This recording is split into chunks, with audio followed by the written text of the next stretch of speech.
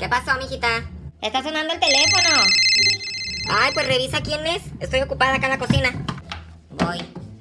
Pero revisa, ¿eh? Me dices quién es. No vayas a contestar, por favor. Es mi tía Maca, mami. Ay, no, no, no, no, no. No le contestes. Porque capaz si quiere venir y no. Luego no nos la acabamos. Ya sabes, sus visitas duran como tres horas. Ok. Al día siguiente. ¿Qué pasó, mijita? están tocando afuera. Ay, pues asómate a ver quién es. No vayas a abrir. Espero haya cerrado afuera, ¿eh? Cuando te dije. Porque tu tía es capaz de meterse como la otra vez y no... No, no.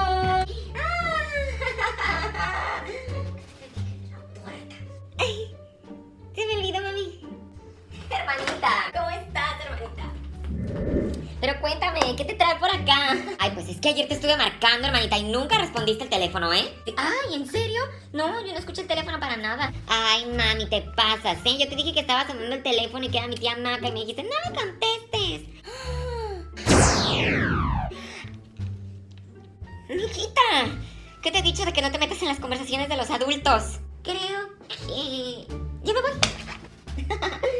Niños.